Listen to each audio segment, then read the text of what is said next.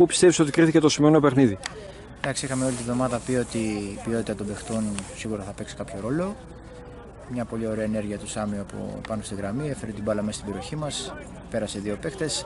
Εκεί πιστεύω ότι ενώ ήμασταν πολύ ανταγωνιστικοί, το παλέψαμε το παιχνίδι πάρα πολύ και φάνηκε μετά όταν έβαλε όλους τους παίκτε και η Βάρη μέσα, ήμασταν το ίδιο ανταγωνιστικοί. Χάσαμε κάποιες ευκαιρίες μετά το 1-0, δεν μπορέσαμε να ισοφαρίσουμε. Και είναι κρίμα για την προσπάθεια των παιδιών που ήταν πάρα πολύ μεγάλη.